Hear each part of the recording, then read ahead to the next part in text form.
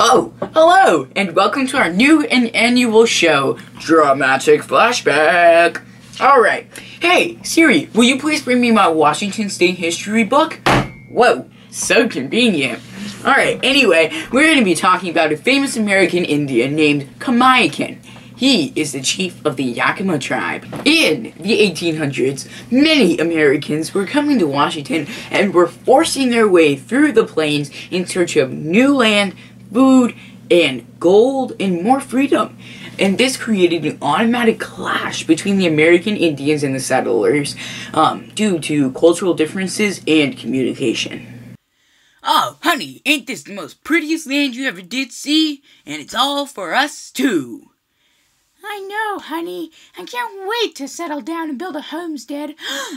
Ugh, those disgusting brutes. They better move out of our way, because this land's for us, not them intelligible beings. Ugh, disgusting. In 1855, the first Washington Territory governor, Isaac Stevens, wanted to have all the tribes sell their lands to European Americans who would build and expand on these acres. Convincing the natives was out of question, so Isaac resorted to threatening the tribal leaders, telling them that if they did not move, he would send soldiers to forcefully move them. He also said that he would board up the Columbia River, which was a major food and water source for the majority of the American tribes in Washington state. Kamiakin immediately took up action. He gathered 14 tribes from Idaho to the Cascade Mountains. All these tribes agreed that the settlers were evil and a resistance had begun, causing a battle which was later known as the Yakima Indian War in 1855. Kamiakin and the allied tribes would meet at a small northern Oregon tribe where they would discuss how to deal with the government, soldiers, and settlers. Stevens became informed of these meetings by an Indian trader, and he forced Kamiakin into signing a treaty that would create the Yakima Indian Reservation. This still didn't stop Kamiakin. On October 4th through 5th of 1855, he and his warriors were able to defeat a force of 84 men led by Major Granville Haller. On September 5th, 1858, Colonel George Wright, with the help of 700 soldiers, took down Kamiakin and his men at the Battle of Four Lakes. Kamiakin was supposedly wounded when he became struck under a pine tree that had fallen due to a cannon shot. His second wife, Colestah, was able to save him from U.S. soldiers. I will not allow you to take the land which rightfully belongs to my tribe.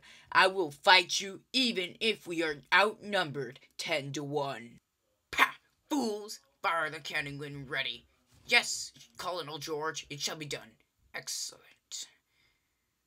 Move out of the way, won't you? I got a job to do. Huh. All right, Colonel George. Cannon ready to fire. Excellent. Proceed. Chief Kamiakin, why is there a guy sitting on top of a log?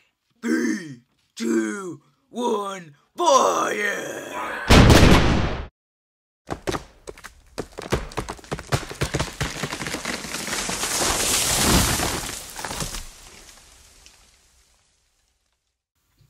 Ow!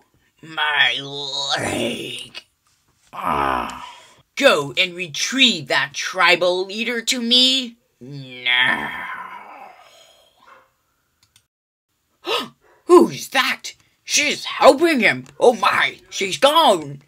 Oh, no matter. We scared them out of the woods for sure. After all of his attempts, Kamiakin's fights were not successful. He refused to surrender and ran for Kootenai, BC. He then left for Montana where he went to live with the Flathead tribe. This is quite sad but intriguing story of the famous Yakima chief Kamiakin. It shows how willing the Indians of that day were willing to stand up and fight for what was really theirs, even when they were outnumbered 10 to 1. Well, that's all today, and I would like to thank you for watching Dramatic Flashback. See you next week.